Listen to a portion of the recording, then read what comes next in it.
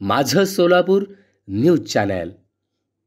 श्रावणी सोमवारनिमित्त श्री शिवयोगी सिद्धेश्वर महाराजाच्या मंदिरामध्ये समाधीस्थळी विविध फुलांनी समाधीस्थळ सजवण्यात आलं आहे सकाळी भाविकांनी गर्दी केल्याचं यावेळी पाहायला मिळालं आहे पवित्र महिना म्हणून समजल्या जाणाऱ्या श्रावण महिन्यातील आज पहिला श्रावणी सोमवार.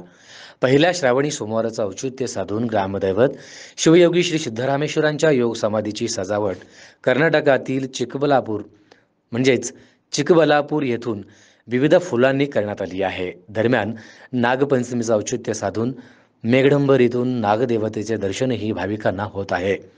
आज सकाळपासूनच दर्शनासाठी हजारो भाविकांची मंदिरात गर्दी पाहायला मिळाली.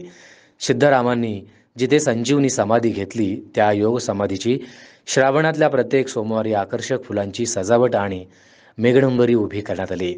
सजावटीसाठी पाचशे किलो शिवंतीची म्हणजे पांढऱ्या निळ्या या फुलांची आणि त्याचबरोबर साडेतीनशे किलो झेंडूची फुलं तर पन्नास किलो गुलाबी फुलं म्हणजे गुलाबाची फुलं लागली आहेत. शुक्रवारी दुपारीपासून पंधरा कामगार या सजावटीच्या कामाला लावले होते. मंजुनाथ तेलसंग यांच्या भारत फ्लॉवरच्या माध्यमातून रविवारी मध्यरात्री नागदेवतेची प्रतिकात्मक असलेल्या मेघडंबरी उभी करण्यात आली. या सजावटीत महादेवाची पिंड त्रिशूळ आणि ओम नम शिवायचा समावेश करण्यात आला आहे.